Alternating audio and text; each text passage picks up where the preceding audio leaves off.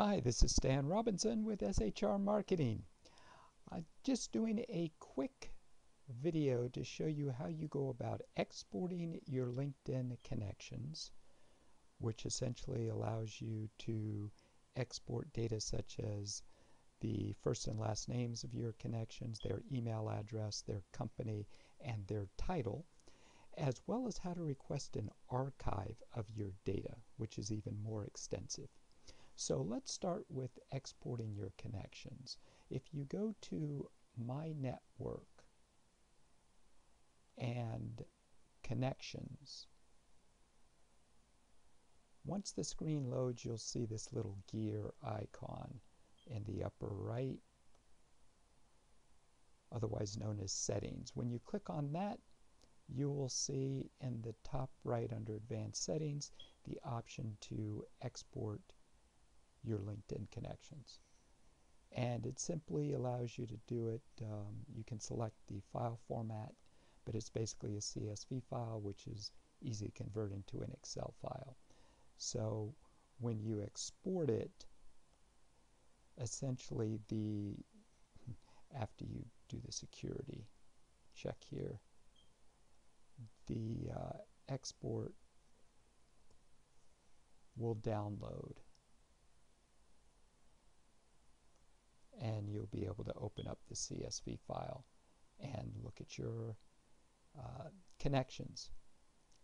So that is the first thing, exporting your LinkedIn connections. The second thing that you're able to do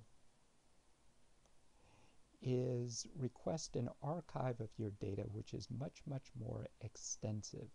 To do that,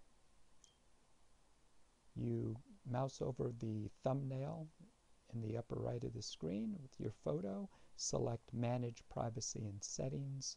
It may ask you to log back in, but this is the screen that it will bring you to if you do have to log back in. On the very first screen, the account screen, if you scroll down just a little bit, you will see the option to get an archive of your data. Now this takes a little bit longer. They say 24 hours. You usually do get it a little bit faster than that. But and it comes to you in um, in two parts.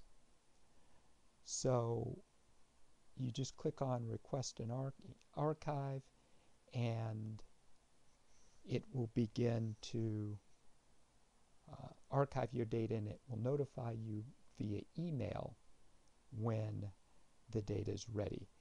What it looks like in terms of a final product is you'll get something that looks like this. So these are categories of data that are archives. So as you can see, it's very, very extensive. So